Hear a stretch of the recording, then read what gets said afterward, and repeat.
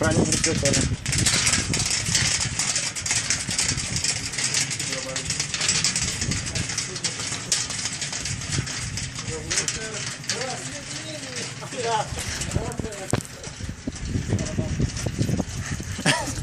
Сектор просветления на барабане. Что?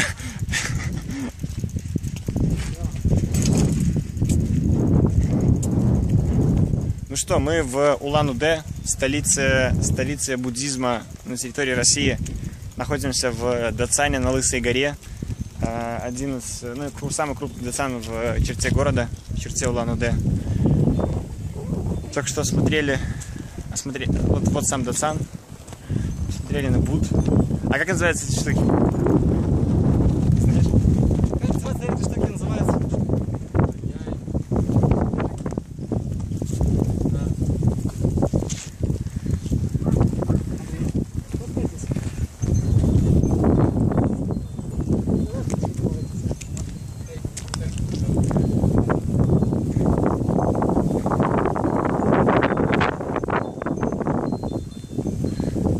Да.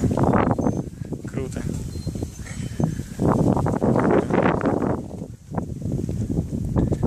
Вот так вот. Хочу и еду.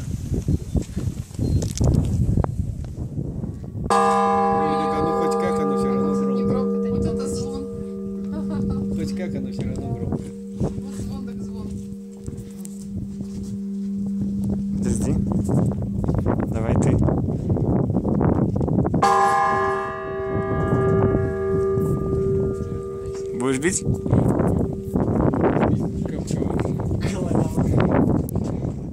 Бить не громко, один раз. Понял? Воеваться.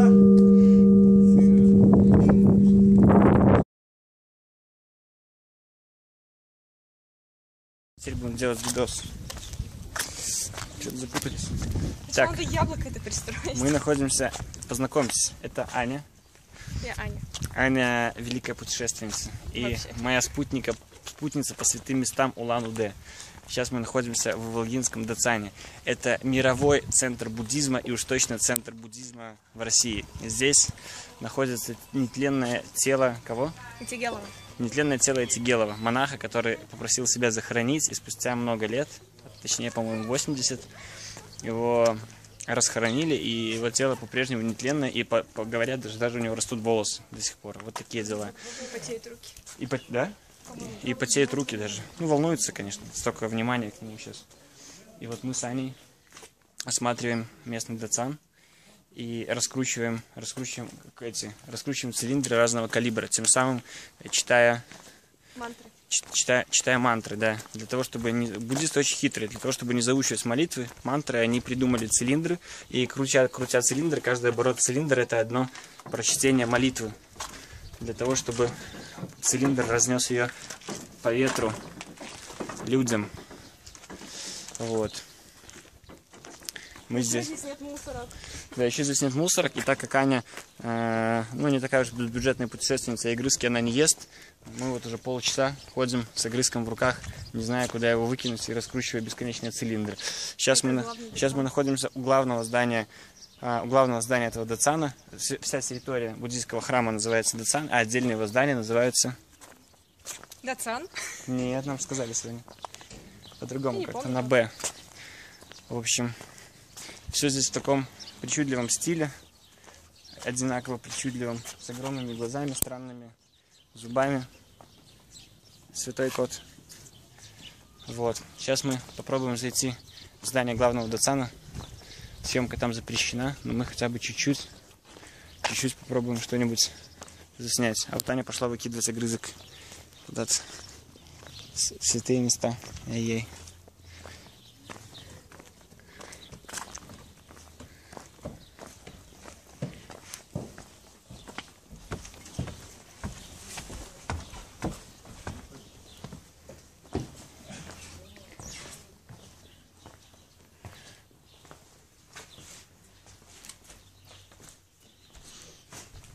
что-нибудь. Мне кажется, должно быть видно.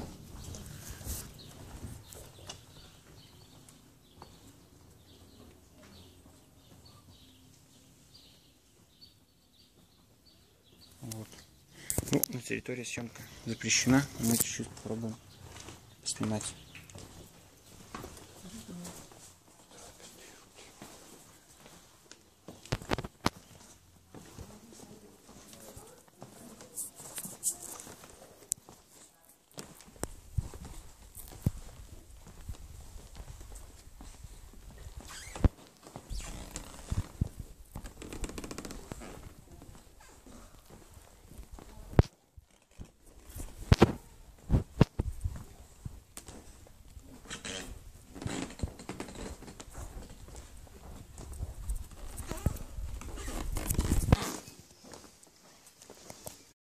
Так, нам Сане удалось.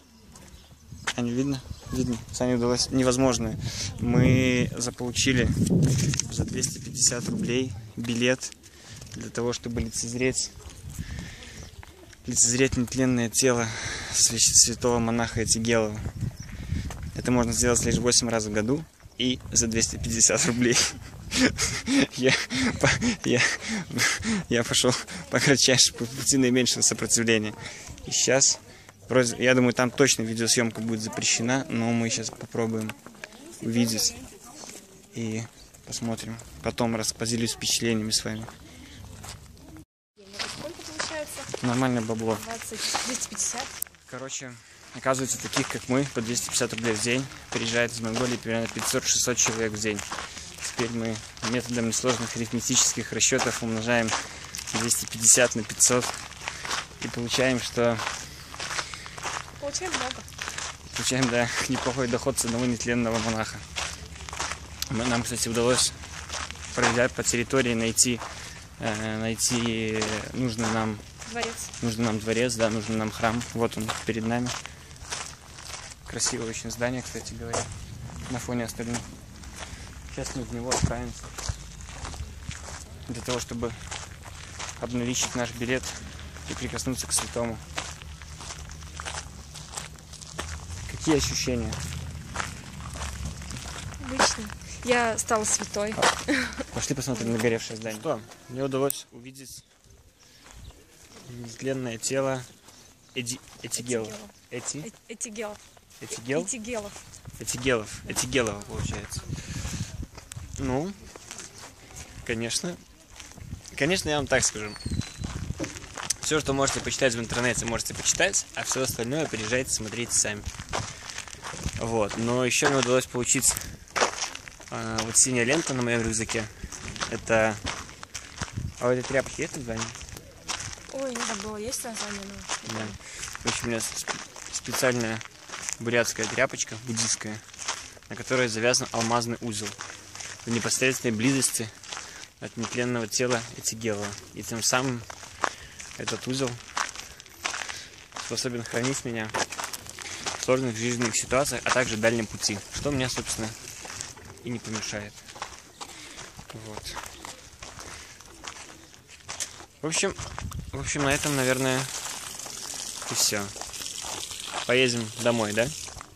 Наверное. Может быть, еще походим здесь. Может быть. А, нам нужно еще статую найти. Да. Ну все. Вам пока.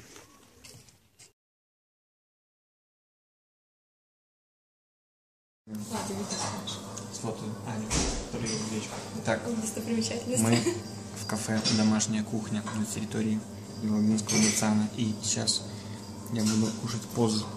Позы для нас, белорусов, это как большие пельмени. Но на самом деле это совсем не так. Это действительно большой пельмень, но который готовится исключительно на пару. Это тесто, в котором внутри говядина. Разные по-разному. А тут говядина? А вот у нас говядина, по мнению эксперта. И они готовятся на пару, и там остается сок, который после того, как ты надкусываешь бу- позу или бузу, надо выпить. Вот такие дела.